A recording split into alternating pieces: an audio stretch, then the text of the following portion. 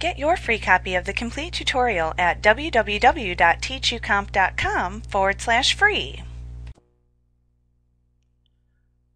Although there is no specific rename command available for use within your QuickBooks lists, to rename an item, you simply open up the Edit List Item window for the selected item within your desired list.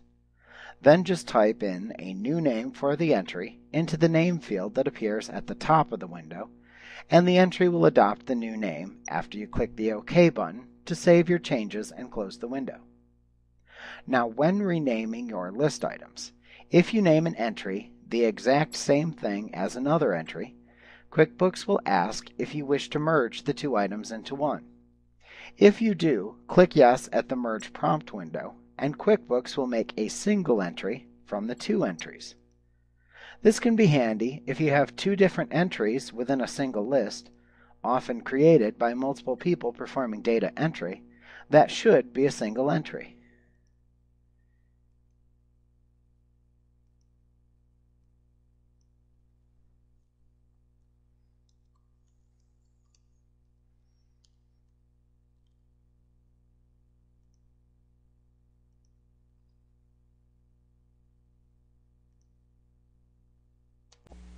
Like what you see? Pick up your free copy of the complete tutorial at www.teachucomp.com forward slash free.